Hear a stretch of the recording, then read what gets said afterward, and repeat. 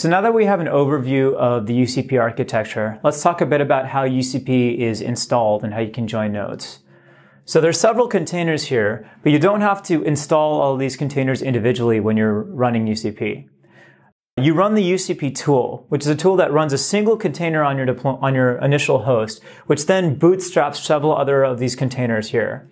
So you run docker slash UCP install, and you can find the details for this process online.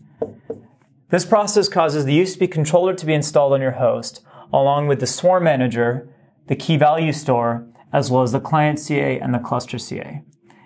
It also, in the initial deployment of UCP, allows the UCP controller to act as a node for running application workloads as well. So it'll add both the UCP proxy as well as the heartbeat, con- the heartbeat container to the original node as well. So that's how you do an initial install. When you want to create and add new nodes to the cluster, you'll stand up your node using whatever process you use, whether it's spinning up a VM or bringing a physical server online. Then you'll run the same Docker UCP tool except you'll do what's called a join.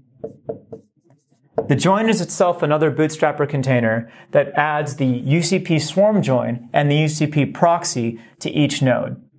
As a part of this process, uh, the UCP tool will ask you for the IP address of the swarm manager and main control, primary controller. So you provide it with that key level of access, and that allows the UCP node to stand up these containers and join it back to the cluster.